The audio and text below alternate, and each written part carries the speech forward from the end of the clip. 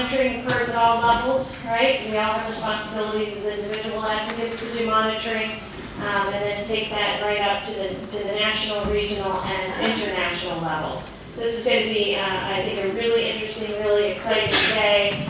Uh, we're going to end up in the session after lunch talking about uh, monitoring with regard to uh, the post-2015 Sustainable Development Goals. There's a lot of work to be done in that realm because the SDGs are going to be a whole new framework for us to learn about and think about with regard to monitoring. The World Bank is doing interesting, exciting, and important things with regard to revising their environmental and social safeguards. Uh, so I think there's a lot of exciting work to be done there. But a um, couple, before I introduce our very distinguished panel this morning, um, I would like to make just a couple of announcements, housekeeping details. Uh, number one, the team is preparing certificates for the um, for the summer school, and that means that we'd like you to see if your name has been spelled correctly on your name tag. If it has not been spelled as you wish it to be spelled, um, then um, please let one of the staff members know so that they, when they print up the certificate, you are known as you would like to be known. Okay? Um, please do that as soon as possible, preferably at the coffee break today. Okay? Uh, secondly, moot court preparation. At lunchtime, perhaps you would like to gather in your teams after you get a bite to eat uh, and continue on with your preparations. The World Bank team would meet in room 006, the, the DPO team in room 008. And I'll remind you again before lunch convenes. Um, okay, so we are very fortunate to have here today two very distinguished panelists. I'll just introduce our first panelist first. Um, Priscilla Rodriguez Benavides. Is that right? Yes. okay, good. Um, and Priscilla, as many of you have had a chance to meet her this week, she's director of the Women's Rights Initiative of the Americas at Disability Rights International, formerly MDRI, Mental Disability Rights International. Um, and Priscilla's been there since January 2011. And for those of you who do not know the work of DRI, DRI is the gold standard of monitoring disability rights. Okay, they, um, they emerged out of um, uh, uh, an effort to ensure that Human Rights Watch was actually putting disability on their agenda. Well, they weren't back then, so Eric Rosenthal, the executive director, decided that he really needed to set up an organization, and he did so, and he has um, done an incredible amount of work to monitor um, some of the most egregious human rights abuses um, around uh, with regard to uh, disability rights. Um, so we're going to get the opportunity to hear from Priscilla about some of the latest, really, uh, really incredible work that DRI is doing, um, and they're really focusing on some incredibly important emerging issues, looking at issues around trafficking, looking, looking at the um, issues around reproductive, uh, reproductive rights for women. And Priscilla has been conducting human rights investigations in Mexico and Guatemala, uh, published uh, a number of human rights reports. Um, through that program, she is also supporting the Women's Peer Support and Advocacy Project. Uh, she's designed one of the first human rights investigations to employ women with psychosocial disabilities as researchers to document uh, sterilization without consent and denial of sexual and reproductive rights. Um, and most recently, I hope you all have had the chance to either pick up or go online and take a look at um, the report that she has uh, authored, Twice Violated Abuse and Denial of Sexual and Reproductive Rights of women with psychosocial disabilities in Mexico. Um, and that report has been um, really held out as, as uh, teaching us um, quite a lot about a really hidden area of abuse that has really not been brought to light. It's gotten a lot of press coverage um, in the United States, across the Americas, as well as in Europe. Um, so it's really important work that uh, I commend to you all. Um, and also take a look at the DRI website and look at the work going back now, I don't know, 15 or more years, right? Over 20. Yeah, okay, 20 years, 20 years, it's been a long time. Uh, Eric Rosenthal was the first person I met um, who was doing international disability rights work uh, a long time ago, and he's been a, a wonderful mentor to me. So I commend the work to you, and Priscilla, we hand it over to you. You. And I understand that you're okay if folks have questions Yes. Just raise your hand. Just happy to take questions at your end, but we'll certainly have plenty of time, um, we hope, for a question and answer afterwards. Yes, sure. Thank you very much for that introduction. Uh, the report you received, uh, the report twice violated on sexual and reproductive rights. Uh, you received it in your welcome package, so I hope you uh, have a chance to read it. I'm not going to really focus today on our work on Mexico. We, I'm going to focus on our work in Guatemala and Paraguay, where we used the Inter-American system. But if I have time, or later on, uh, informally, I would be very glad to speak to you about how, in Mexico, we've used successfully the international human rights system, specifically the CRPD committee, um, and the local human rights mechanisms to. Uh, advocate for the right of persons with disabilities and especially women to live in the community. And um, like, uh, well, I, I will just urge you, or not urge you, uh, really, uh, I'm really open for you to raise your hand throughout the presentation if you have any questions. It might, some issues might be really technical, uh, but uh, so if you have any doubts during the presentation, just let me know. Um, I, like I've said, I'm, I'm going to speak about the Inter American system and how uh, we are using it to advocate for the rights of persons with disabilities uh, to be integrated in the community. One uh, recurring uh, issue that has been mentioned throughout the course today, this week, has been that um, for people with disabilities uh, to be part of inclusive development, they need to be in, this, in society in the first place. If they are segregated in institutions or at home, it will be near to impossible to keep them and to include them in development efforts. So that's why uh, our efforts really focus on community integration. And um, before I start with the Inter American system, I would like uh, to, to ask you to raise uh, your hand if you are from the Americas or you work for an organization that does advocacy work in the Americas. Okay?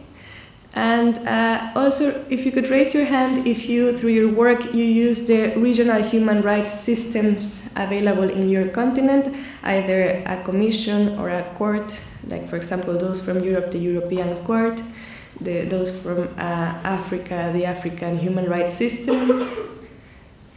Okay? Okay. Okay. Yeah, um, that was. Uh, that, that usually the human rights systems, especially the regional ones, are seen as something that is very far off, that it's actually hard to relate to and hard to work with because they can be very technical. But uh, I hope that through my presentation you can see that there are very effective tools to really uh, use in your advocacy efforts. And I hope that uh, you will consider in your strategies on how to advocate for human rights for disability rights specifically, uh, also the human rights systems. In our, in our strategies uh, in Mexico, in Latin America, we always consider the inter-American system and we always con- consider it, how can we use it? And it's not only through a case. Usually, it's, usually you think, oh, well, it's the court, so it has to be through a case. But no, there are other uh, ways you can involve the inter-American system. I'm, I'm going to talk about some of the ways we've done it. And um, the, um, well, the Inter-American Human Rights System is uh, composed by the Inter-American Human Rights Commission and by the Inter-American Court of Human Rights. Uh, its nature is uh, complementary. I'll come back to this later in my presentation, but it basically means that it's not there to substitute local uh, human rights mechanisms or judicial bodies. Uh, it, it complements them.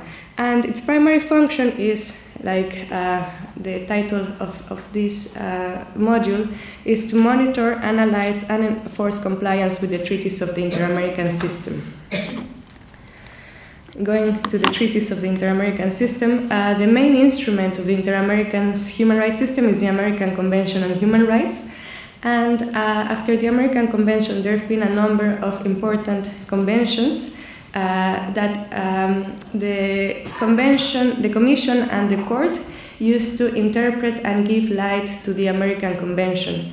Uh, here are a number of them, of, of the conventions that are now part of the Inter American system, but it's also important to note that the Court and the Commission have consistently used not only the Inter American treaties but also international treaties to interpret and I would even say expand the rights that are enshrined in the Convention. Uh, I'll come back to this when I speak about the Inter American Court. Uh, there, there is one case where the CRPD was used uh, in a case of a child with a disability, and uh, we're also filing a case, uh, and uh, we're also using the, the CRPD together with the American Convention. The Inter American Commission, well, very briefly, in 1948, uh, the OAS Charter, in Article 106, provided for the creation of the Commission. In 1959, it was created. In 1960, it already held its first session. And in 61, it was already carrying uh, on site visits to monitor the human rights situation in states. And in 1965, it was already examining its first complaints uh, regarding individual petitions or, or individual cases on human rights violations. The commission itself, what is known as a commission, is uh, the seven members who are called the commissioners and are from the member states. They, uh, even though they are from member states uh, from the Americas, they have to act independently. They don't represent a country, and they are elected by the General Assembly of the Organization of American States. There is also the executive secretary, which is actually the building with the staff and the lawyers and um, technical administrative staff, which provides support to the commission and it basically does uh, the legal and administrative work. And it's based in Washington, D.C. It holds ordinary sessions twice a year and uh, uh, special sessions, uh, depending on how, uh, the, if there is an urgent matter, among other issues. Um, civil society and governments can request public hearings and working meetings. DRI, uh, I think every session in the Commission we request at least one public hearing. And uh, we've also been doing it increasingly together with other organizations in the region that work uh, with disability rights. So, for instance, in March of 2014, we requested a hearing, a public hearing on legal capacity. And uh, organizations from Argentina, Peru, Colombia, Chile, Guatemala, Mexico, among others, were part of the ones requesting uh, the hearing and participating at the hearing. And uh, this was really a very important uh, way to highlight a systematic uh, and structural problem throughout the region on denial of legal capacity to persons with disabilities. Uh, we've heard afterwards from the Commission that because of that hearing, the Commission is now um, planning to write a report on legal capacity in the region. Uh, we've also requested public hearings in, uh, on community integration and as well as public hearings on, well, for instance, uh, in October of this year, uh, we are expected uh, to request a public hearing on sexual and reproductive rights uh, violations that occur against women with disabilities. And we've already partnered with organizations in Argentina, Chile, Peru, Guatemala, and Mexico, again, to and the US this time as well, and again to highlight how this is a regional problem and how the Commission should start looking at this.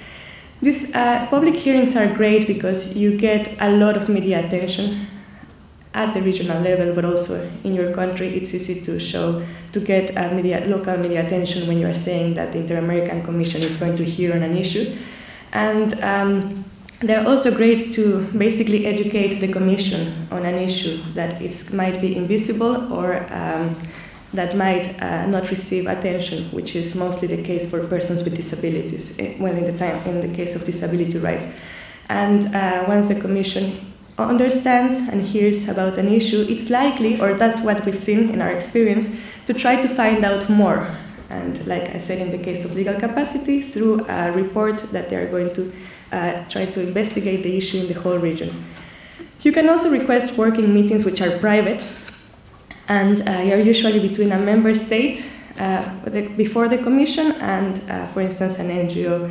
I'll come back to working meetings in the case of Guatemala because we've also used them extensively.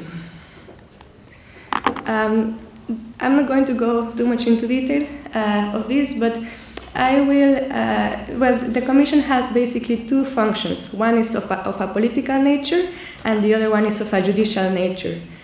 Uh, the, in the political nature is uh, well, you have uh, develop human rights awareness in the regions, make recommendations to government on, for example, legislation and policy in terms of human rights, prepare studies and reports. For instance, in this uh, function is where they prepare their, where they are planning to prepare the report on legal capacity, but in general their reports. They also request governments to report on efforts to promote and respect human rights. The, the member states can also make inquiries to the Commission on a certain issue. And uh, they also reply to that and well they are basically the ones uh, they also have to report to the general assembly of the organization of american states.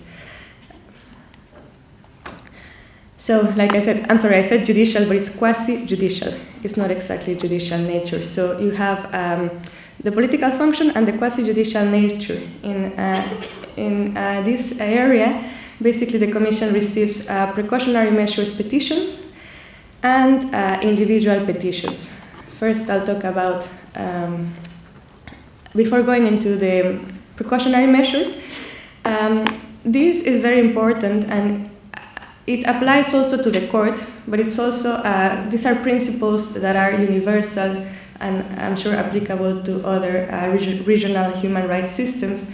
And for, in this case, Inter-American system to be able to hear uh, about a case it, uh, it, there needs to be four requirements met.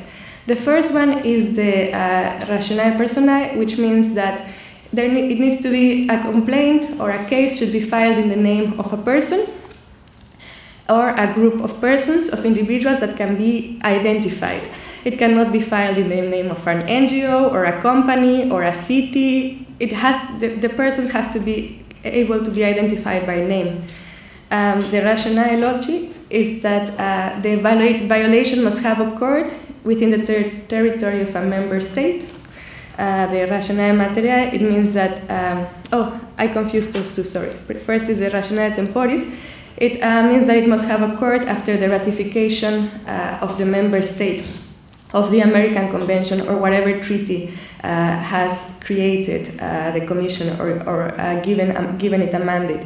And that's because uh, states, when they ratify a treaty, they agree to be bound by it and to comply with the obligations there uh, set.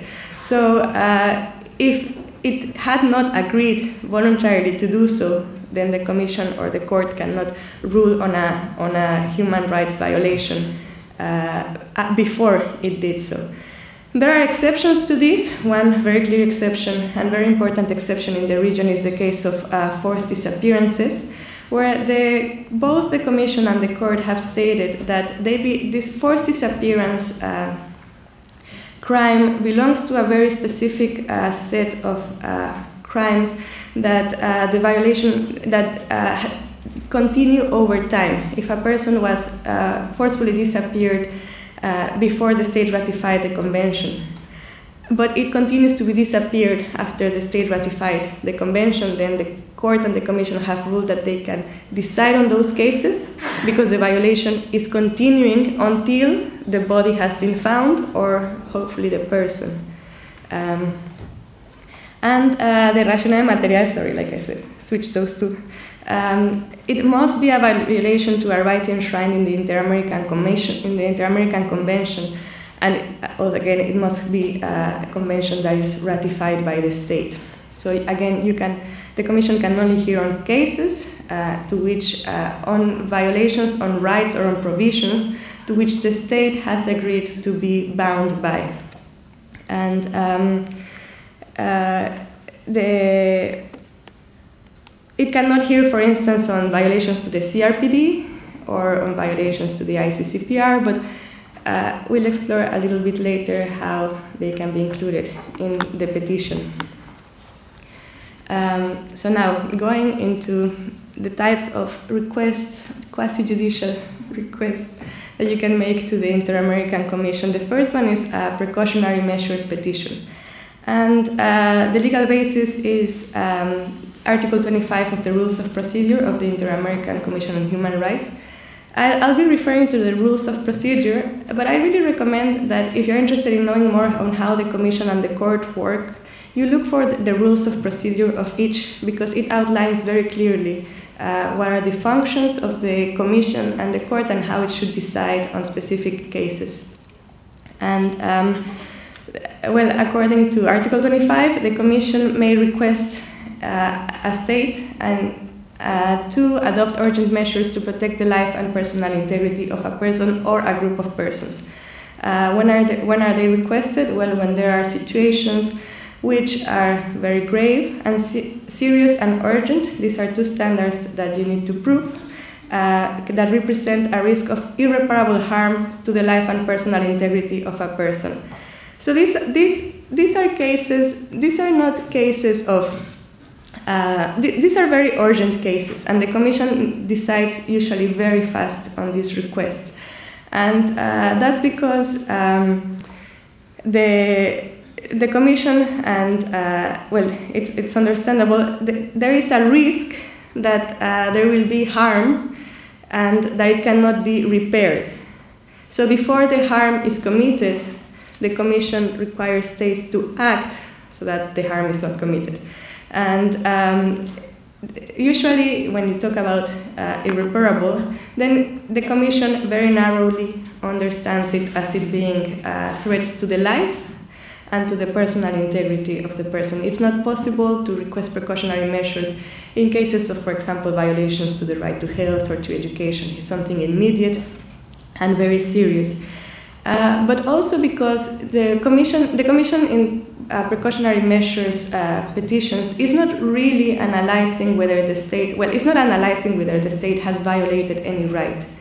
It's just analyzing whether there is the chance, very likely chance, that the state will violate uh, certain rights. So um, the standard uh, um, of proof and in general of uh, the information that needs to be sent to the commission is it's low. The commission is more is shifting more in that direction, in which it really uh, is not um, expecting much from a precautionary measures petition. So basically, the only things that need to be said in the petition need to be the facts, the name of the person or, or identify a group of individuals, and the um, and the rights that the person thinks are being violated. And in this case, it should be right to life or and personal integrity. So, for instance, we, there, is, there are cases in the Commission where prisoners have uh, written this uh, very in a very uh, rough way in toilet paper and then found a way to send it to the commission and the commission has accepted this as uh, enough to uh, review the, the facts and grant precautionary measures. So again it's a very it should be uh, a very simple way. It's not often but uh, it, in general it is to request precautionary measures petitions we, DRI has requested uh, precautionary measures petitions in two cases, in Paraguay in 2008 and in Guatemala in 2012. And uh, in both cases, it was to protect uh, the rights of persons, well, the life and personal integrity of persons detained at psychiatric institutions in extremely abusive conditions. I mean, in general, we've documented in over 40 countries that uh, psychiatric institutions are overall abusive and the conditions are inhumane and degrading. But these two were particularly extreme. Paraguay, uh, in Paraguay, in the case of Paraguay, it was because uh, we found uh, two minors uh, being held in cages uh, for the whole day. They would sleep there, eat there, defecate there, and they were there since uh, they were young, they were little, and very likely they were going to stay there for their whole lives. So this was, um, we requested the commission to act. They agreed and they requested Paraguay to to take precaution, urgent measures to get uh, those two out, those two minors out, but also in general to uh, improve the conditions uh, of the persons at the hospital. I wanted to show you a video because it's much more powerful to see it on video than if I tell you the story, but it's not really working, so I will uh, very quickly tell you about it, but I can also share the video with uh, uh, the organizers and they can also share it uh, with you. The case of Paraguay was very successful because um, they are called Julio and Jorge. Uh, are now living with their families. They were uh, reintegrated with their families. The change is incredible from when you see them in cages, uh, in lying in their own in their own um, urine and not even really speaking all the time, just squatting uh, to when they are back with their grandmom, in the case of Julio, or with their family in the community, even working, taking care of their family. It was just a really great case for them too, but also in terms of um, the, the psychiatric institution, it was downsized by half in the first year. Precautionary measures petitions don't, and the Commission is very clear on this, they will not address structural issues. And community integration might be seen as a structural issue. But in either case, in Guatemala and uh, Paraguay, we've fought for the, uh, the, the, the, issue of integration to, of the, in the community to be included.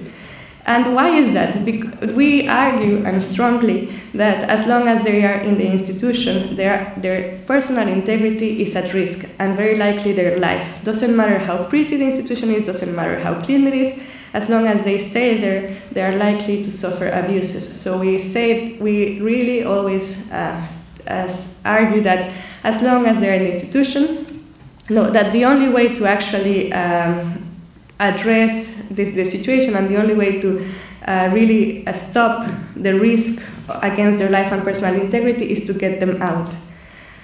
Uh, in the case of, of Paraguay, it was really successful. In the case of Guatemala, not so much. So I'll tell you a little bit about Guatemala. Uh, from August 2011 to uh, October 2012, um, we, I was part of the team documenting uh, abuses in the National Mental Health Hospital uh, of Federico Mora in uh, Guatemala, in Guatemala City. And this is a very extremely, um, an, an, extremely abusive institution. Uh, you have guards, armed guards, you have staff and you have patients, and you also have persons that have committed a crime, and the court has deemed them, uh, well, has, has said uh, that has, uh, well, has said that they have a psychosocial disability or a type of uh, disability, and it has sent them to this hospital. So it's in general uh, very um, uh, in, in closed doors, over 400 people interacting the whole time, and uh, the conditions are very abusive, are degrading. But more than anything, we found um, systematic sexual exploitation of the women and the men there. Uh, one of the witnesses, who is a psychiatric resident at the hospital, told us that he saw a rape, at least one rape every day. There is a prison next door, and we also have uh, information that the women are sometimes transferred to the prison next door to be sexually exploited. And, uh, well, obviously, complete lack of treatment, complete lack of rehabilitation, as well as use of isolation rooms and uh, physical restraints. For instance, we also found a minor in an isolation room, which you can imagine the state of the isolation rooms and uh, the staff told us that he was put there because if he was taken out of the isolation room, he would be raped. So the only way to protect uh, this uh, young man, this young child actually, was to keep him in an isolation room in terrible conditions. And well, it should be noted also that the UN Special Rapporteur on Torture has said that use of isolation rooms in children with disabilities constitutes torture. So um, I'll show you a little a video, a very short video, so that you can uh, see for yourself. In October of in October of 2014, we went down with the BBC to Guatemala, and they documented uh, the conditions at the hospital. and also spoke a little bit about our work. The documentary is 20 minutes long. It's, I really recommend the documentary, but I'm just going to show you the preview. What goes on inside the walls of the Federico Morais Psychiatric Hospital is a closely guarded secret. Journalists are not allowed.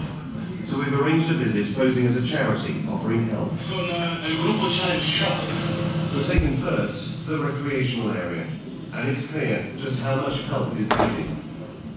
Lying on the ground, what appears to be heavily sedated patients, their rags and dirty bodies, evidence of the neglect the authorities try to hide. This is Guatemala's only state-run psychiatric facility.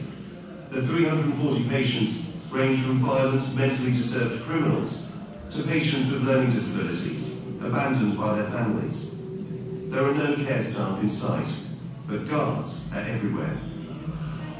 In the wards, we enter a hell on earth. There are almost 70 patients on this ward, looked after by just two or three care staff. The patients crave attention. The beds are in a terrible state, and there are pools of urine on mattresses. Patients sleeping, they've all been sedated. The staff says the only way they can control the huge number of patients here. And as you approach the patients lying in the bed, there's an overwhelming stench of urine.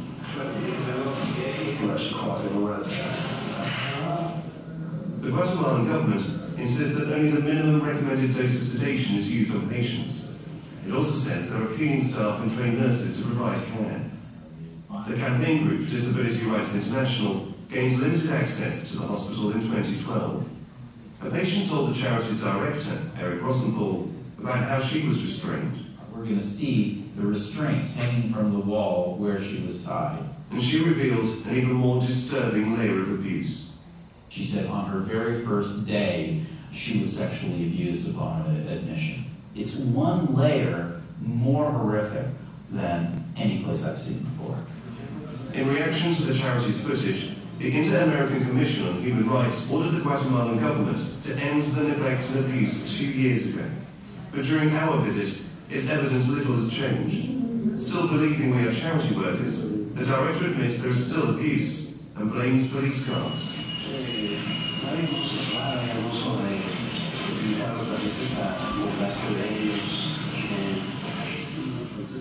A former patient tells me she was sexually abused, not by the guards, but by those who were supposed to care for her. She was just 17. A male nurse came in, and since I was sedated, I wasn't aware of it. I didn't realise until the next day that I had lost my innocence. So I realised that what had happened that night is that a male nurse had come in and raped me. The Guatemalan government says it hasn't received any reports of sexual abuse or rape, but it has ordered an internal investigation, and it intends to make improvements to the hospital and the standards of care. But campaigners point out the same promises were made in 2012. They now plan to launch a new legal bid to shut down the hospital. Chris Rogers, BBC News, Guatemala.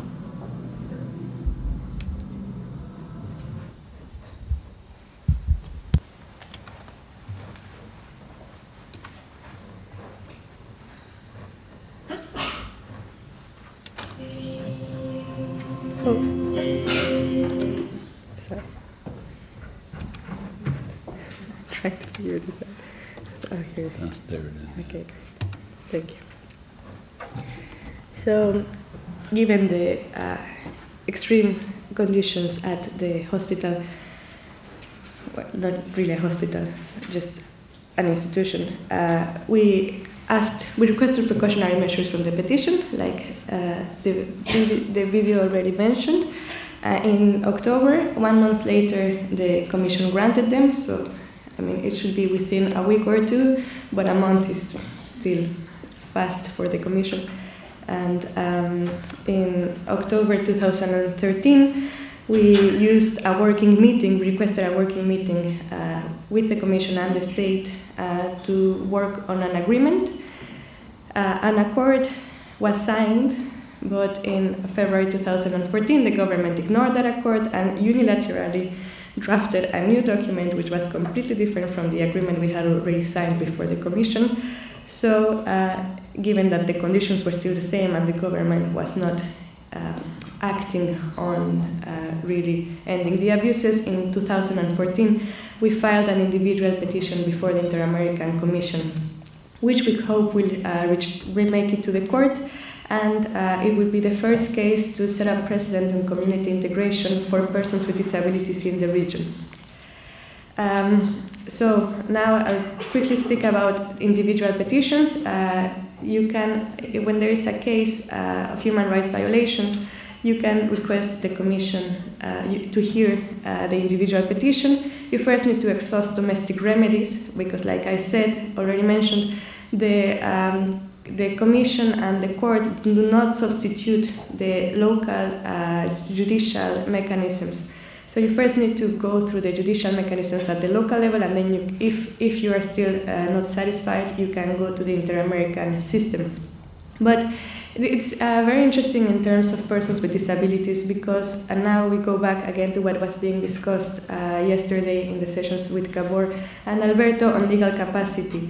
In, uh, in the case of Stanev versus Bulgaria, the European Court of Human Rights ruled that, um, well, Stanev was a person who was taken to a psychiatric hospital and he suffered inhuman and degrading treatment there, uh, among other abuses, including arbitrary deprivation of liberty. And the court said that uh, because he was under guardianship, he could not have access, have had access to the uh, legal mechanisms and uh, also it also spoke about a physical a physical aspect to this because it said it was not only not legally recognized by law as a person and thus it, he could not have filed a complaint.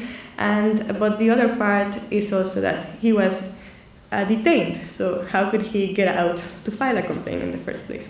So in the case of Guatemala, we're using this reasoning also to argue that uh, we do not need, or the persons at the hospital do not need to exhaust domestic remedies because they anyways can't. They are on the guard. In the Guatemalan law is very explicit that persons that are in institutions are automatically under the guardianship of the director of that institution. So legally, they are not persons recognized by law. The guardian is the one that has to file a complaint, but you can imagine that the director will not file a complaint against himself. And uh, they are uh, detained in a facility, they cannot get out to file it, even if they could. So these are very important exceptions, uh, which uh, I think it's important to explore in the inter-American system for persons with disabilities. The other requirements that you need to meet is, uh, is there, there's a status of limita- statute of limitations. Uh, that means that um, the, uh, after the final ruling of the last instance in uh, the local jurisdiction, you have six months to file a complaint. And uh, you cannot have duplication of procedures, which means that, for instance, the CRPD has a complaint mechanism, and you cannot file a complaint before the CRPD committee, and also before the Inter American system, you need to choose one. Um, this is a procedure before the Inter American Commission, and like I, like, like I said, because of time issues, I'm not going to go into it. But if you can uh, look, Google the rules of procedure, there you have uh, very clearly outlined what is the process that the Commission uh, follows when it receives an individual petition. Uh, and now on to the Inter American Court of Human Rights. Uh, well, I, will just mention the, the last point on the procedure before the Inter American Commission. The Commission issues a report on the merits, which are basically the uh, violations that it has found that the state has committed. And uh, so the state uh, must have. Um, so the, the, Commission issues a report, and if the, it issues specific recommendations for the state. If the state does not comply with the recommendations, the Commission, together with the uh, petitioners uh, or the victims, uh, and, and the victims as well, has to decide whether they want to refer the case to the court. And uh, well, now uh, to the court, well, it's the judicial body of the Inter-American system, and it applies and interprets the, the, American Convention, and is based in Costa Rica. It has seven judges, and uh, they meet also, like the Commission, in ordinary sessions and in special sessions.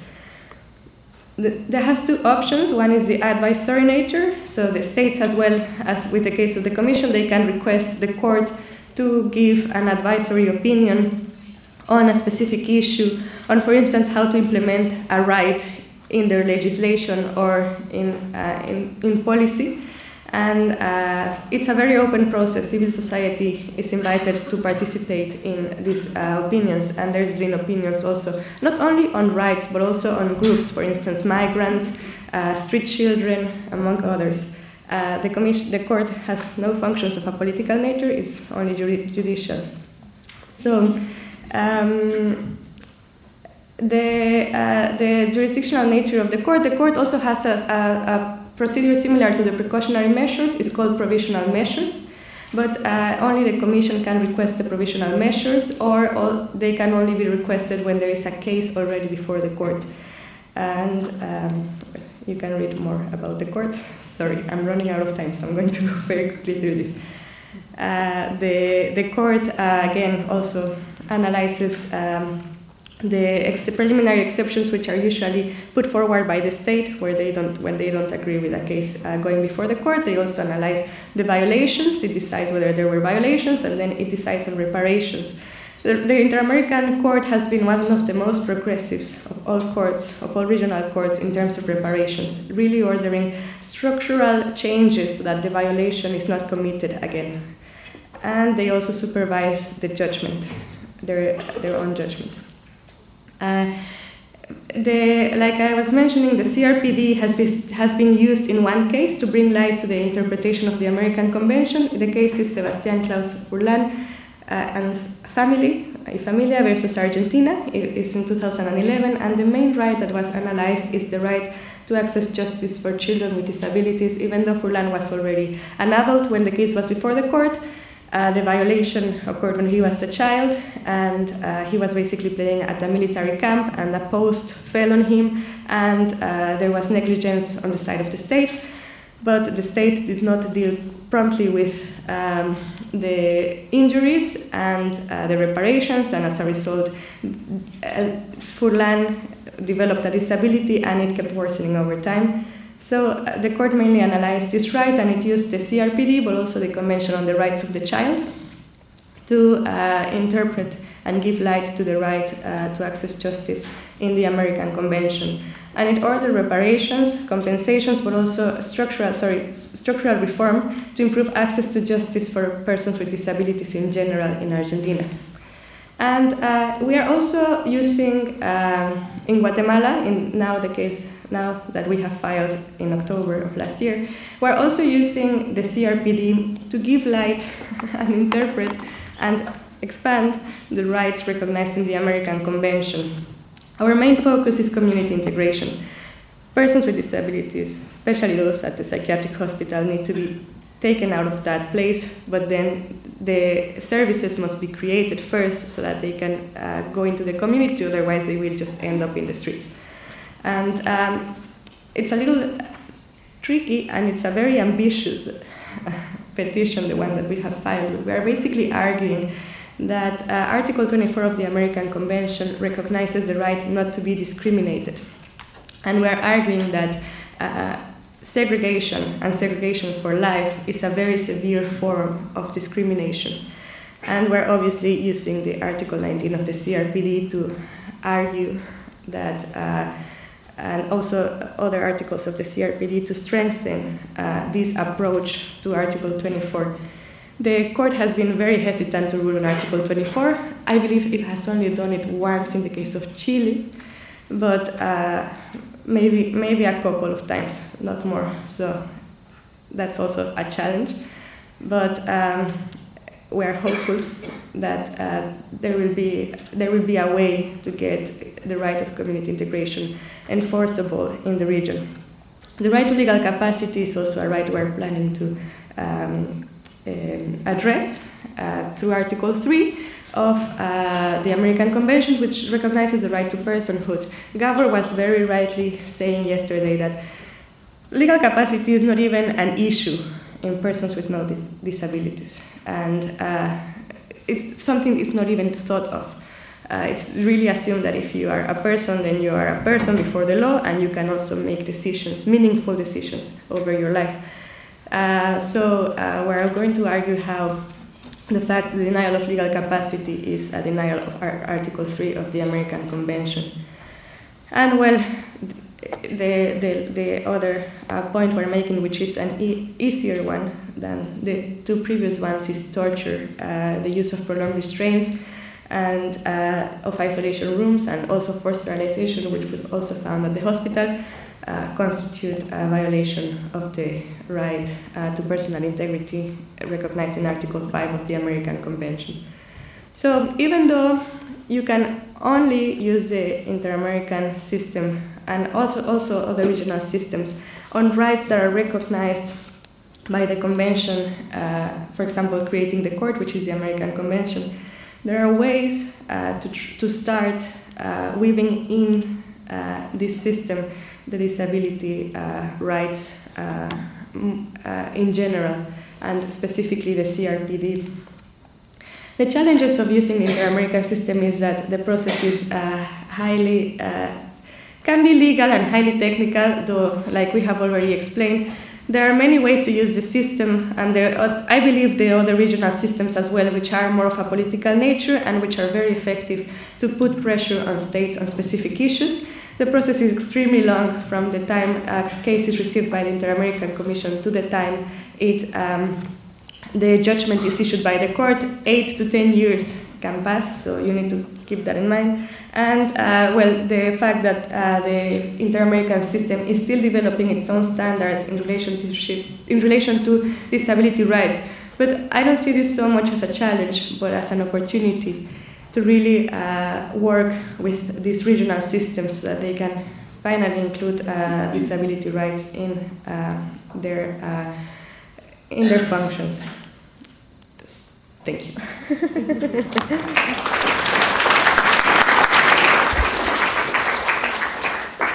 Thank you, Priscilla. Wow, tour de force. Um, and I like how you presented the work um, of monitoring enforcement as really multidimensional.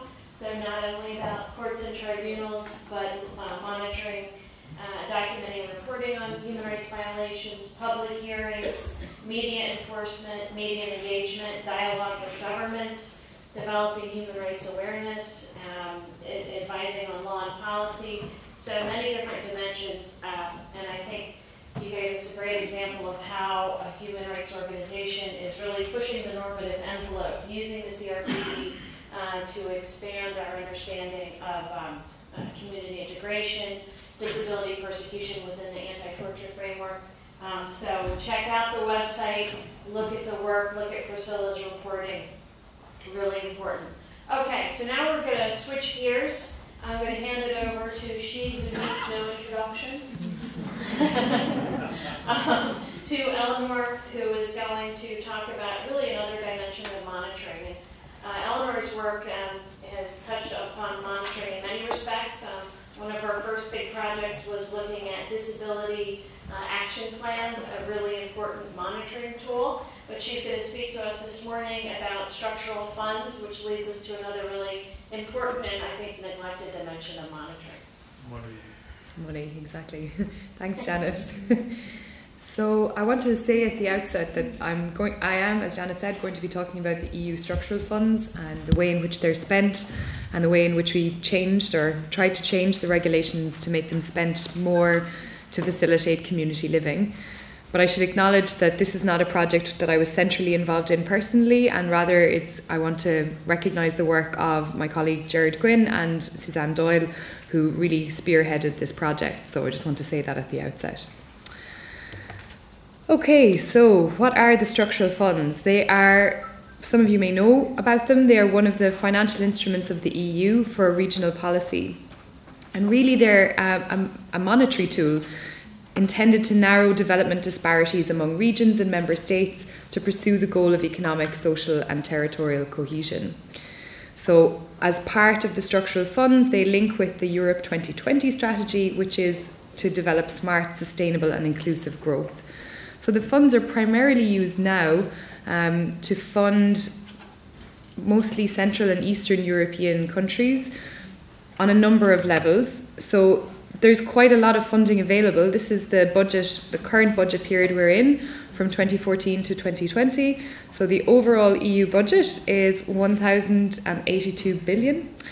Um, but the cohesion policy, which the structural funds are located within, is comprised of 351.8 billion. So it's 32.5% of the overall, overall EU budget.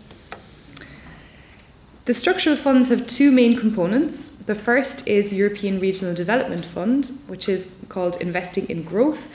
So, those of you who have travelled on Ireland's motorways and roads might have seen some signs um, that this project is fund, part funded by the European Regional Development Fund.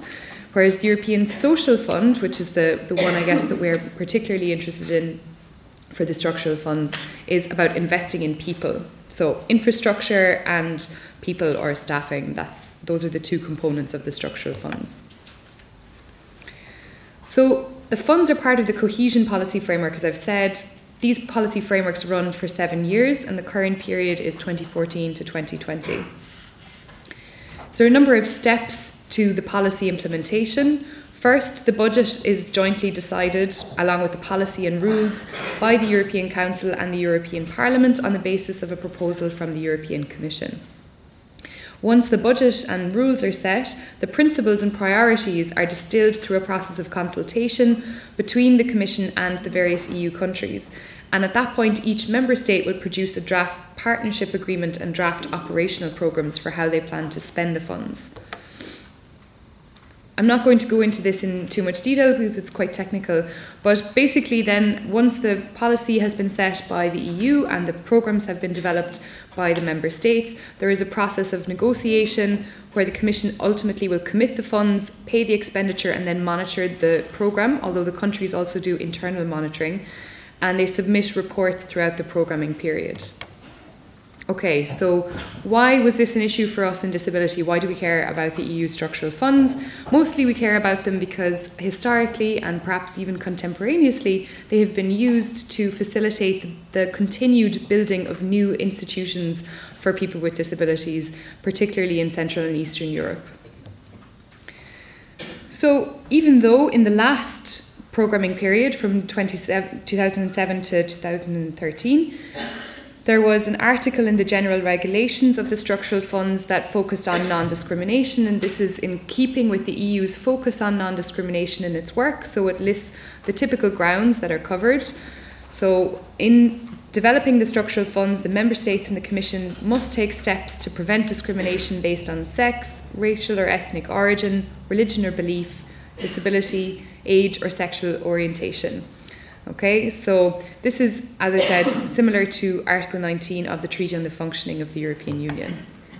However, despite this non discrimination clause, we have several reports that are pointing to how the funds continue to be used to renovate existing institutions and construct new institutions rather than using the funds in a more flexible or creative way or even consulting with people with disabilities and their representative organisations about how they would like the funds to be spent. So I've just cited three studies there, and I'm happy to provide um, links to the studies on the, the Dropbox so that you can read them. But again, we have documented this quite significantly. It's, we're well aware of the, the existing problem. And I should say it's not just a problem for people with disabilities, it is also a problem for, for children and for older people. And as I go through the presentation, I'll talk to you a little bit about how in our campaign we try to take that more life course perspective and build a coalition across disability, ageing, and children's organisations to argue for the funds to be framed in a different way. So, one of our good tools in arguing for the funds to be used differently is the fact that the EU is the only um, intergovernmental organisation to have confirmed in its language, or what we would more commonly say, ratified, the UN Convention on the Rights of Persons with Disabilities.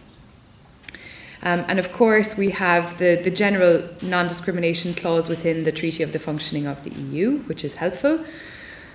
So, in the annex to the decision of the European Council to confirm or ratify the CRPD, they have a list of all of the areas of their policy and of their programming that are relevant to the convention, and they do list the structural funds as one of those areas of their competence that is relevant to how the EU will implement the convention. So that was the first link that we were able to make to argue for the funds to be used in a different way.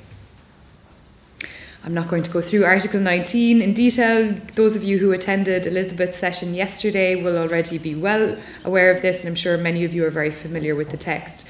I just want to highlight a little bit of paragraph A, I suppose, which is to me one of the most central parts the idea that persons with disabilities have the opportunity to choose their place of residence and where with whom they live on an equal basis with others and are not obliged to live in a particular living arrangement, which is, I think, one of the strongest arguments that we have against institutionalisation and for community living. As I mentioned briefly, there we did try to build a, a coalition across different interest groups in looking to reform the funds. So, in that context, I think it's good to remind ourselves of the human rights instruments that exist for those groups as well. So, the Convention on the Rights of the Child clearly talks about how the child has the right to know and be cared for by his or her parents and should not be separated from his or her parents. And again, institutions and segregation do violate these parts of the Convention of the Rights of the Child. Even the article in the Convention on the Rights of the Child that talks about children with disabilities talks about enjoying a full and decent life in conditions that ensure dignity, promote self reliance, and facilitate active participation in the community. And as we've heard from Priscilla's talk, it's clear that an institutional setting is not going to be able to provide those kinds of opportunities for children or for adults. So, just to touch briefly on similar uh, instruments in the context of older people. So, there is, uh, which you've heard some reference to perhaps already this week, a process ongoing at the UN in the open ended working group on the rights of older persons to potentially, at some point, draft a convention, a new human rights convention on the rights of older persons. And there are a number of policy instruments already at the UN level, such as the Principles for Older Persons from 1992 and the Madrid International Plan of Action on Aging.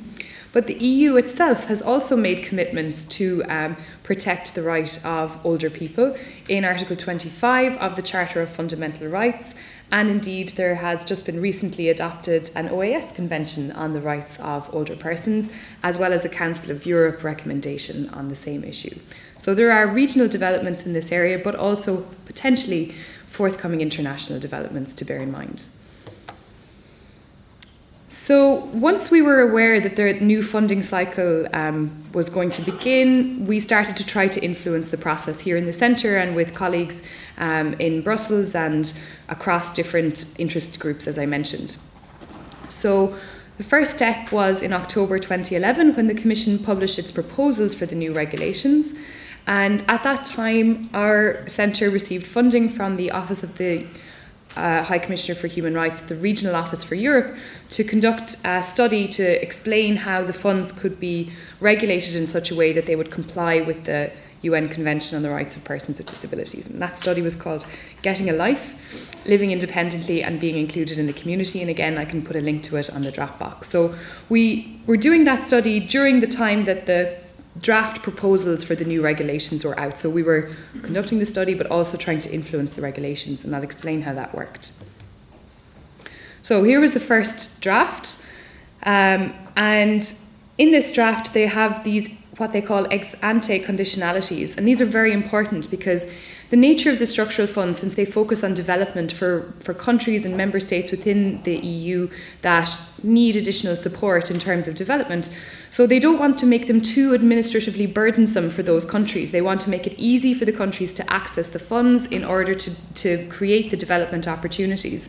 But they do place some conditions on them. So we were really anxious to influence those conditions to make sure that they would reflect our understanding of particularly Article 19 of the CRPD. So, in, in the draft, there was a statement that there should be a mechanism which ensures effective implementation and application of the UN Convention, which is great.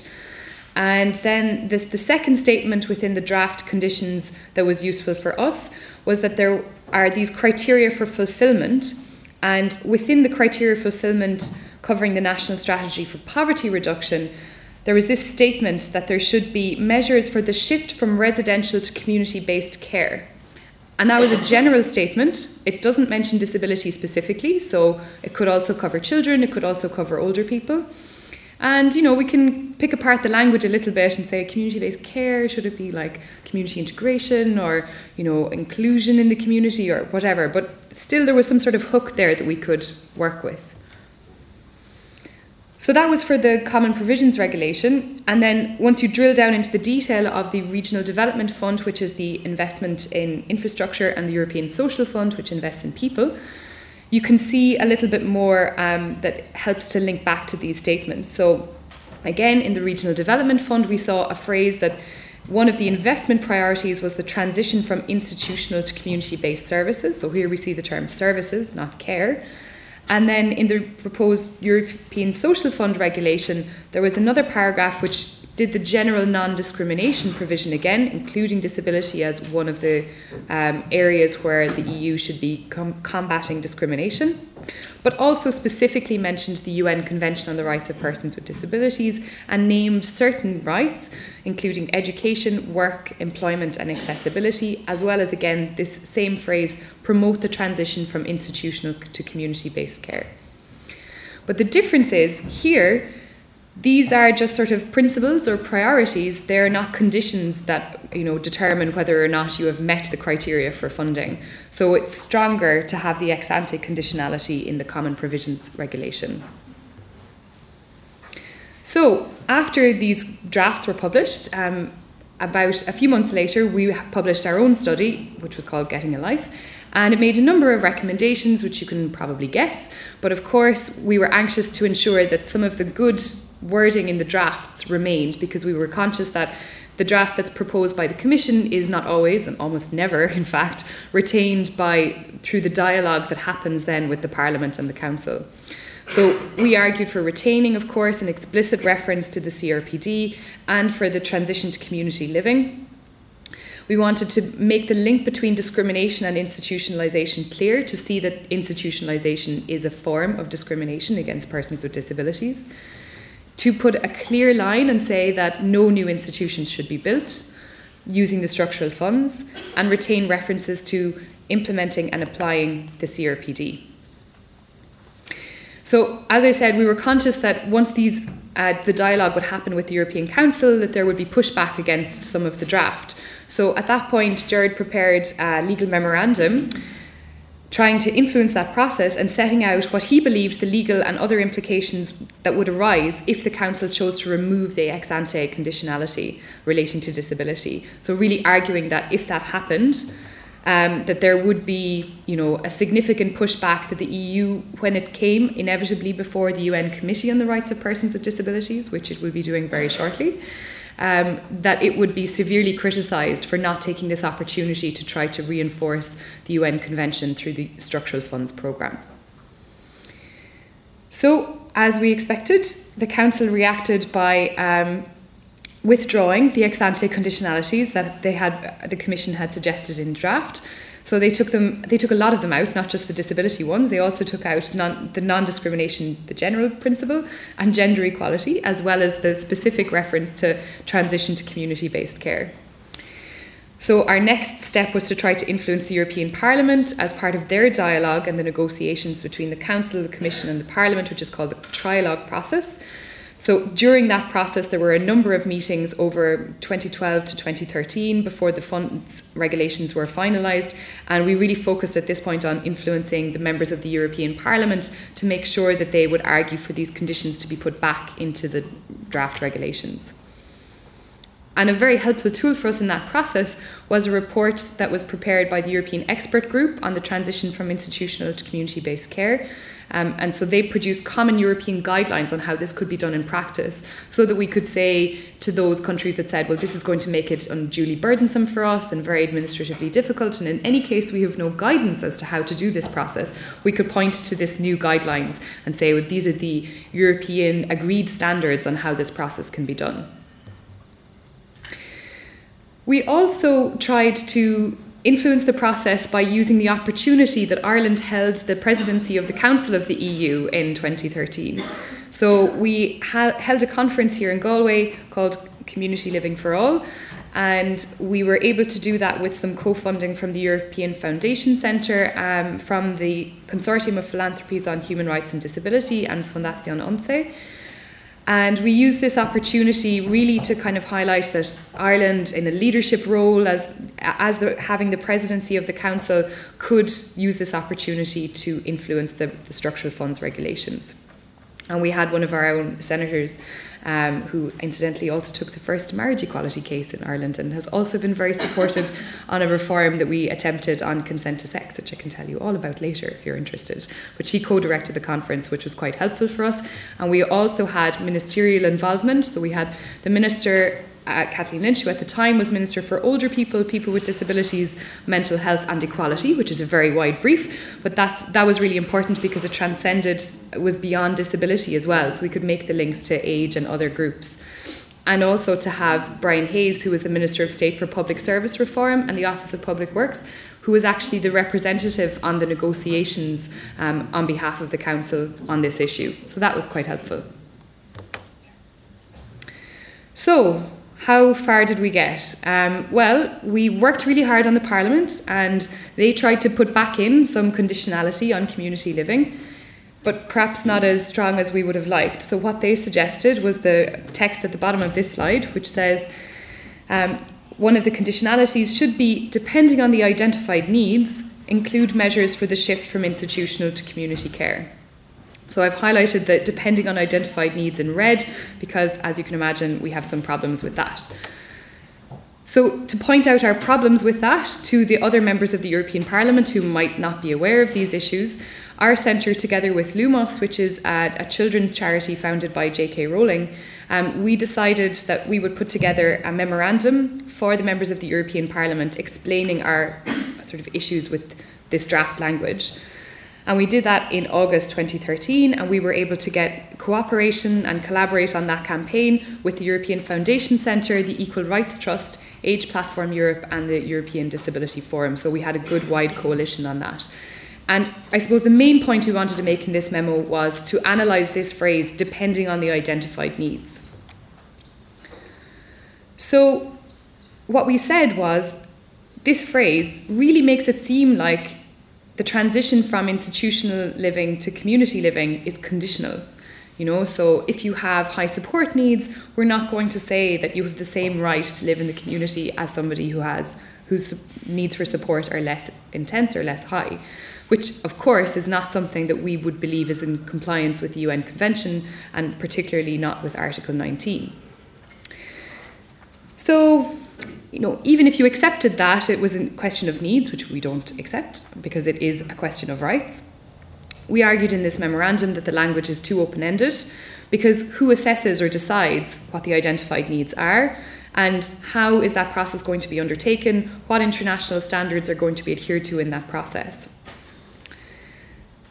So we wanted to be very clear as well that we weren't just talking about instead of you know building new institutions, building new group homes which continue to operate in an institutional manner as we've heard throughout the last two days.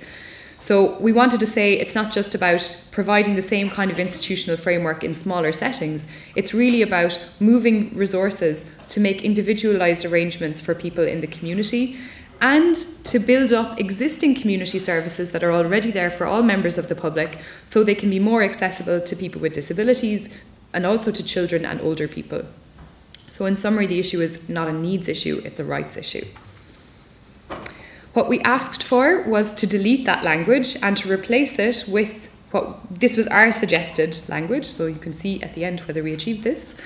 Um, our suggestion was to include measures to achieve the right to community living on an equal basis with others by planning for and implementing the transfer of resources from institutional care to more individualised arrangements in the community and by making community services more accessible. And then we said there should be clearer parameters in general on how we will know whether countries have fulfilled their criteria under the ex ante conditionalities. So, what happened in the end? Well, there was a plenary vote of the European Parliament in November 2013, and this is the final text of the regulations that they adopted. So, the Common Provisions Regulation, which is the overarching framework for the structural funds, does retain thematic ex ante conditionalities under combating poverty and social exclusion, but really they're focusing on whether the country has a national strategy for poverty reduction. So, once that exists, that condition is met. And they put back the same language, depending on the identified needs, include measures for the shift from institutional to community based care. So that was quite disappointing. However, they did do some positive things. So within the ex ante conditionalities, there is a, a general section, and under that, there was a thematic area on disability. And the ante conditionality there was for a country to demonstrate that they have an existing administrative capacity to implement the convention. So that could be that they have ratified the convention, they have designated a focal point, for example, under Article 33, or they have some evidence to show that they can implement the convention. And importantly, we were able to influence the criteria for fulfillment of that condition to provide more detail on what this would look like. So here we emphasize the needs for member states to have a framework in place to consult with and involve bodies in charge of the protection of rights of persons with disabilities or representative organisations of persons with disabilities. We also said that states would need to have arrangements for the training of staff of authorities involved in the management and control of the funds in the fields um, of the EU law as well as national disability law and policy, including accessibility and the practical application of the Convention as reflected in EU and national law.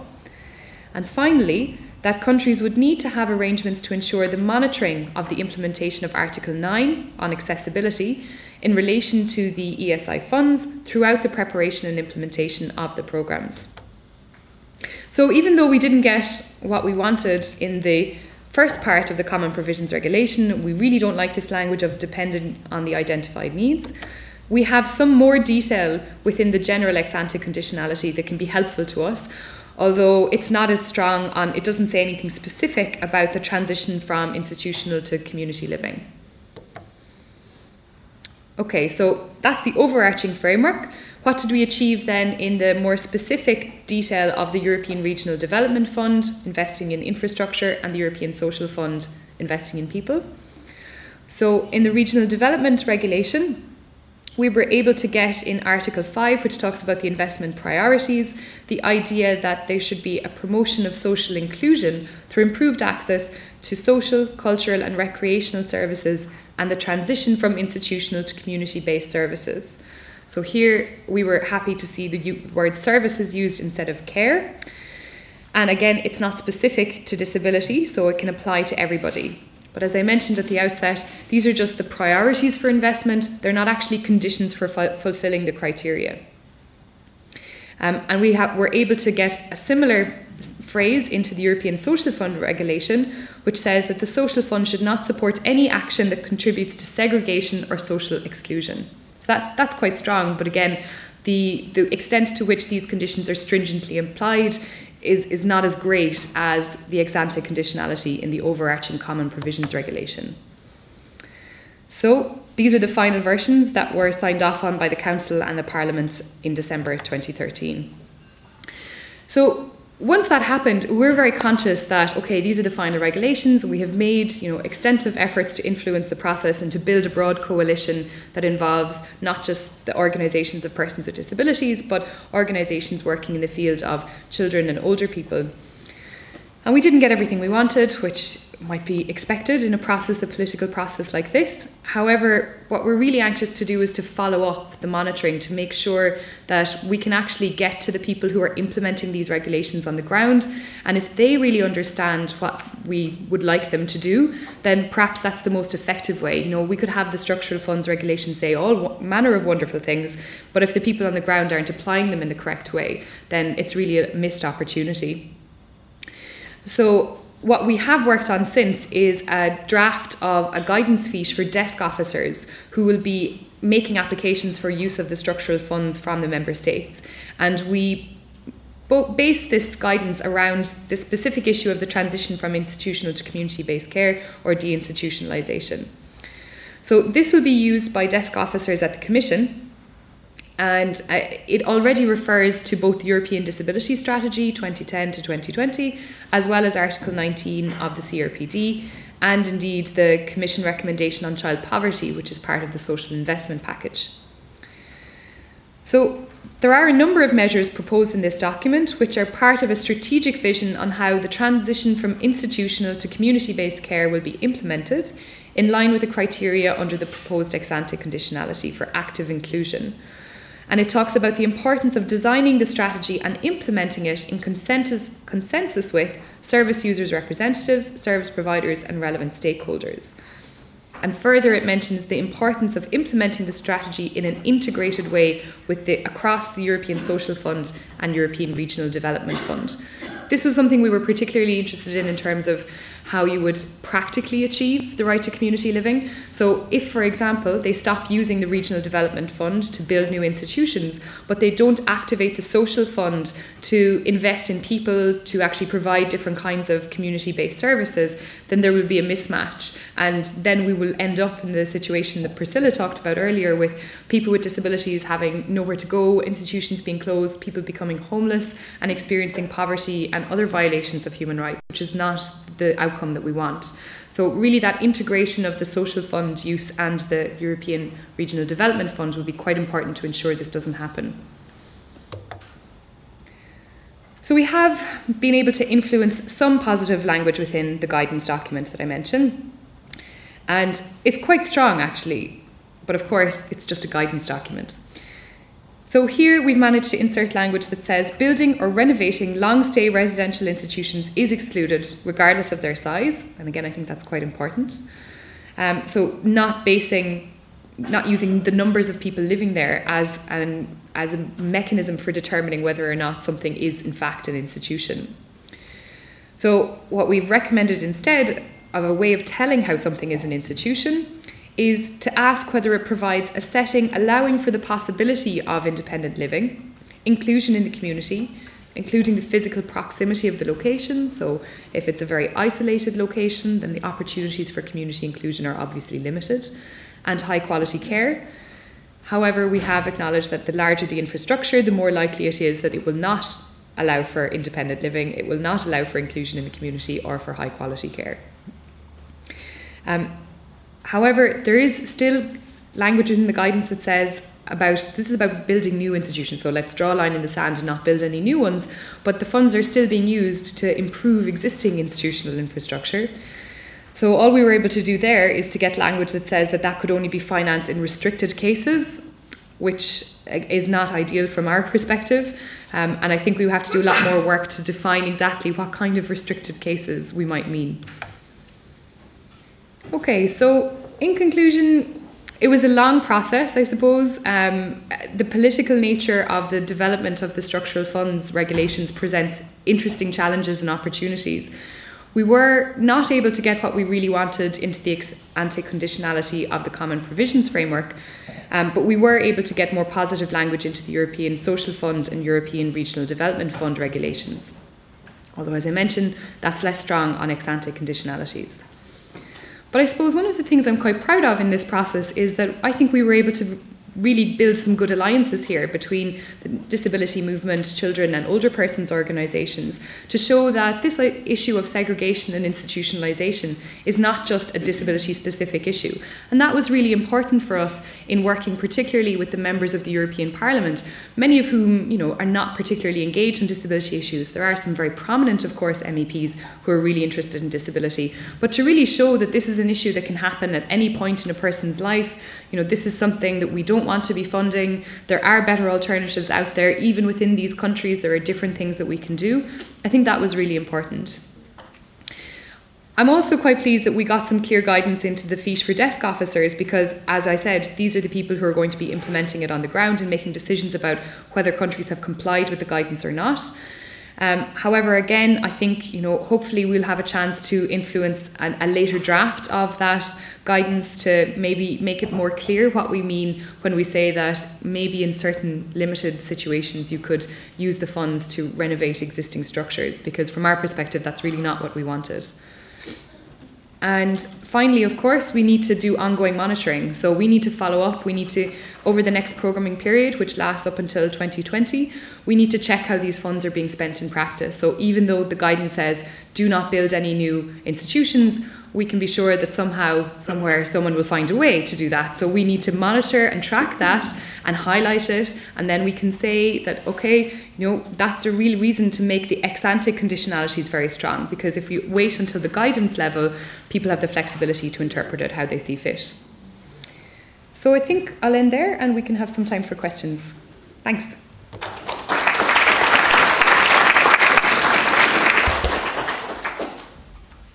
Wow, thank you, thank you very much. Um, so I think one takeaway from from Eleanor's presentation is that ensuring disability inclusive development requires that we as disability advocates do human rights human rights budget work. That's bad news for people like me who went to law school to avoid doing math. But um, the good news is we've got some really good case studies, and I think this is an excellent example of um, of really good budget advocacy work in the context of Article 19 of the CRPD. Um, there's also a lot of good work that's been done with respect to human rights budgeting in the gender context. I think there's probably lessons to be learned there. Um, so this was really interesting, really Im- important presentation. So let's open it up to some questions. I think we'll take uh, two or three questions, comments for our panelists. Yes, down here in the front. Thank you very much for that. It was a very good presentation and uh, very helpful. Um, we have the Leonard Cheshire services, uh, which tends to be generally residential institutions. Um, and I grew up in one of them.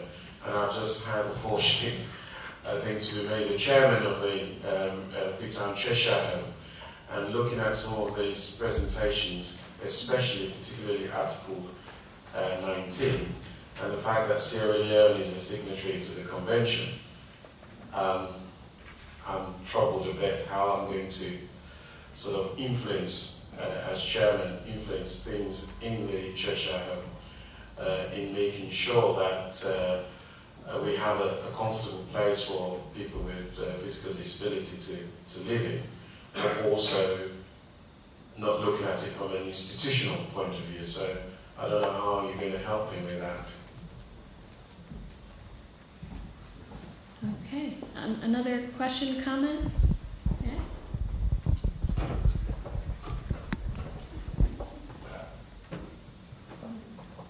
similarly with that, yeah, you both talked about how like size of an institution doesn't um, necessarily define what is an institution, and I know with the EU there was a call to kind of make sure that structural funds weren't being used to implement institutional mindsets within group homes or family style homes.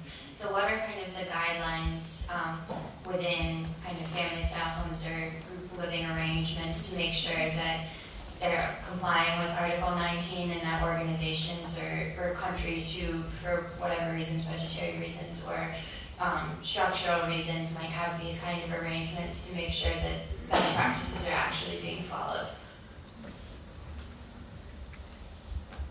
One other? Anyone else? Yes, right. I'm right. oh, unless there's someone down there, please. Don't um, Actually, on, on the back of that, I, um, I was kind of thinking um, very similarly, how do we prevent the risk of the positive step to move towards independent living um, being kind of, uh, which I think is happening in the UK, uh, a move towards atomising um, living for people with disabilities um, who very often it's, difficult to share private rental accommodation.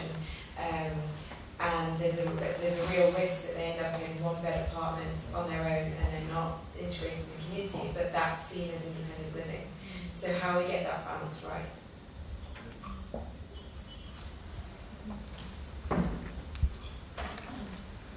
Uh, hello again. Um, I'd like to um, I'd like to ask you in the, a short comment if possible. Uh, in Romania, we use, of course, structural funds, and not in the most happiest way, as you might know already. That's why I'd like to I'd like to emphasize and to ask you, seeing that you have such a strong advocacy voice at the level of European um, uh, European Union. um, that um, the idea that the um, monitoring part after the money are given to the state is, from my point of view, the most relevant.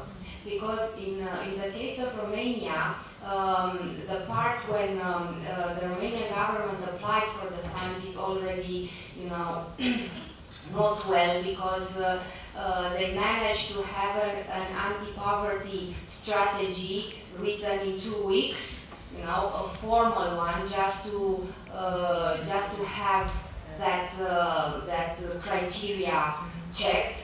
So basically, what we really do need right now is to um, to influence in a way or another um, to monitor these funds that usually go to certain uh, groups of interests and they are implementing those kind of uh, big, huge budgeted projects with no, uh, no concrete results.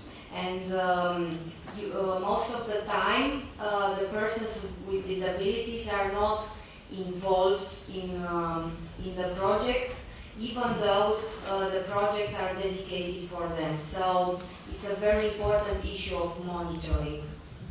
So basically it's more, mostly a comment and uh, an ask. Thank you. Thanks. Shall we take some comments? Oh. um, okay, so some really great questions there. Um, starting with the first first, so your question about, you know, as a chair of an organisation, what, what can you do? Um, and it is a huge challenge, I'm not underestimating that. So the people that I know who've worked in progressive services and tried to implement change talk a lot about, and this is I think a, a mantra of Michael Kendrick from the US as well, one person at a time. You know, it's we want to. It's often it's easiest, and maybe that's not a bad thing to start with people who are the most ready to already leave. You know, and to, to start one person at a time, uh, because that's the way in which you will do it in a meaningful and you know a, a proper and effective way, rather than you know just a sort of I think it's important to draw a line in the sand as well. So I'm thinking particularly of uh, a woman I know, Mary Keeley, who was the CEO of Brothers of Charity in Clare and did amazing things while she was there. Um, and she talked about when she became CEO, drawing a line in the sand and saying, even though people are demanding um, a sheltered workshop and demanding more group homes, we're not going to let anyone else in. We know that this is not the right way to support people. Um, so we're drawing a line in the sand to not let anyone else in, and we will work one person at a time to get people back to their communities. So I think that's that seems like a pragmatic way to approach it, and, probably a good way. Mm-hmm. Um, so the question about how do we, you know, post Article 19 world, what does that look like in practice? And people are living with families and living in, in different kind of settings, and how do we make sure that those settings are the kinds of places that Article 19 sort of aspires to. Um, and I think the answer in a way is to, we, we have to start really young. Like we have to, we moved children with disabilities into separate settings at such a young age um, in many cases and we're still doing it. You know, and even if we don't separate them from their families now, we're, we're putting them in, a different school, we're putting them on a different form of transport to get to the different school, we're putting them in segregated like recreational activities. So, so we've got to start there because it's too late often by the time we're coming into adulthood to, to make a transition and say, now we're going to suddenly we're going to be independent living when we haven't done it all along. So, so for me, I think yeah, the earlier we start, the better, and, and hopefully that could prevent this sort of move towards atomizing people and saying, moving, taking you away from your family is the way to get you to be living independently. Um, because a lot of us, I mean, some of us were delighted to get out of family home at 17, but most people really have, you know, a, a, point at which they don't want to live at home with their parents, and they, they see their brothers and sisters moving moving out and living with flatmates, then people think, yeah, why, why can't I do that? And there are creative things that people have done. I mean, I've seen some sort of um, you know, alternatives to respite, for example, where, where families are paired with people and, and develop long-term relationships with them and, you know, host that person in their home and that person becomes a part of their extended family. Um, but also I've seen great things where people have um, volunteered to like share a flat with somebody for like a reduced rent or maybe even free accommodation in return for providing some basic support to that person or even just companionship and, and friendship. And you know, maybe we feel a bit uncomfortable about monetizing things like this and thinking about ways of providing support outside a very strict sort of either it's informal and it's family and it's just because you love the person, or it must be a paid caregiver. But you know, I don't know that there's necessarily such huge problems in blurring those those boundaries sometimes. If we're clear about the purpose of it and if it leads to something that people, you know, actually want and it keeps people in their communities.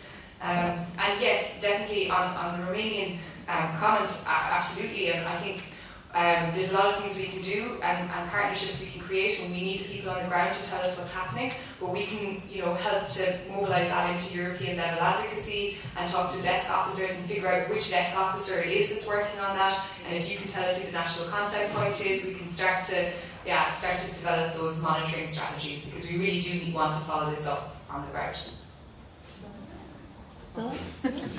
okay, maybe. How are we for time? Not so good, huh? Couple more? I think we're about out of time. Yeah, over here and right here in the middle. Good morning again. I'm Ali Martin from Sierra Leone. Um, of course, I am one person who has been against institutionalism for too long because most of the times these homes are viewed as kind of, it's a kind of social quarantine. And for my country, Sierra Leone, most times parents of children with disability, when they take these children to these homes, they kind of refer them to be kind of government property. And when once they are in these homes, they don't care for them. Even when it's holidays, um, parents refuse coming to pick their children from the homes. And another major problem we're facing, of course, the sexual abuse is very, very common. Like my brother, who, is, who has just been appointed as the chairman of the Cheshire we had a very serious sexual abuse case there last year, and up till now we've not got justice. Um, the former head teacher's brother sexually abused uh, a very vulnerable uh, girl. She was not only physically challenged, but she has some mental disability she got pregnant and it's a very, it was a very complicated situation. And up till now, we try to seek justice for that poor little girl. But then again, the other problem we have in, most times it is difficult to get people out of these homes, even when they've acquired high school education and they should now be independent. They always become fully part of the home and don't want to give space to other uh, children. So I think institutionalism is one thing we should try to stay away from in as much as we're fighting for inclusive education and mainstreaming disability. I think that's my contribution. Thank you.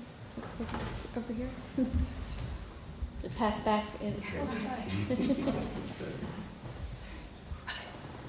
Sorry. Yeah, I just wanted, I just wondered whether you've um, done any work with the private renting sector um, or know of any good projects that private that are being done with the private rental sector to ensure that they're also working on this. So it's not always government led and charity led. Mm-hmm. One more up front here. Um, I just wanted to make an observation about um, institutionalization uh, in relation to uh, disability. But institutionalization is a stock response um, by government for a lot of problems, like prisons are institutions, people are thrown into them. Um, uh, resources for disabled people, both physically disabled and uh, mentally disabled, institutions are the automatic response, and in a way, that's a kind of Victorian response.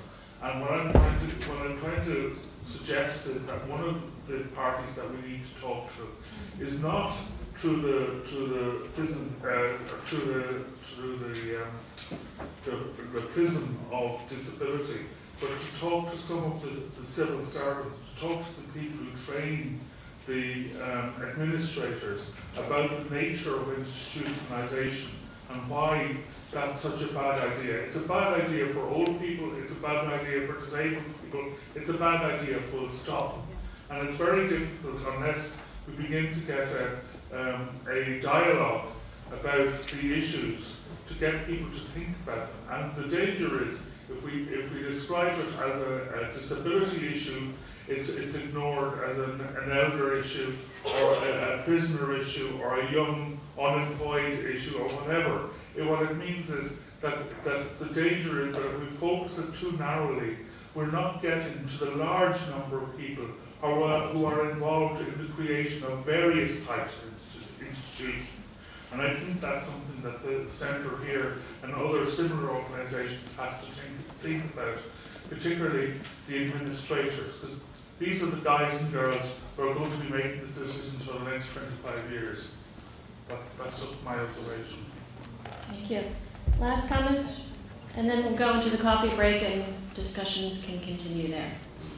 Yeah, about the case that you uh, were mentioning about uh, the woman who was sexually abused, I think in most of our countries, legal systems are not good enough to address the situation of persons with disabilities. Which is why I think uh, it's important to also consider the regional systems.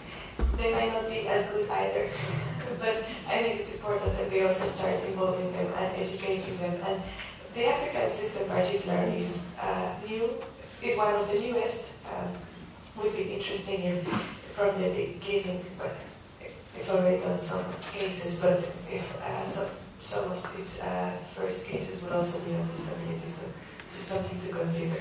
Okay. Hey, Eleanor, anything else? Yeah, just to mention on the private rental sector point that yes, um, you probably know of Keyring in the UK, and we, there's a similar, well, sort of similar organisation started here called Step In, and that's been focusing exclusively on, on the private rental sector. Um, and just to respond to Dan's point about institutions are bad generally, and obviously we agree.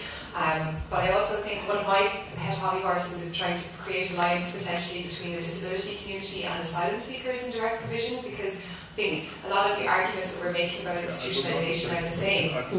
Yeah, but it's a really good example of like continuing institutionalization and people outside of disability don't realise that they think asylum seekers are the only people in Ireland who are institutionalised now, you know, outside of the criminal justice system and it's just not true. So yeah, so I just wanted to add that as well. Thanks. Okay, thank you. Thank you and uh, panelists, will you be available for uh, further consultation? Okay, so we're going to uh, take a coffee break now, and if we can return, I need some guidance.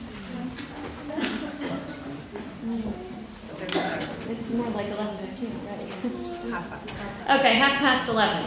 Okay? Thank you.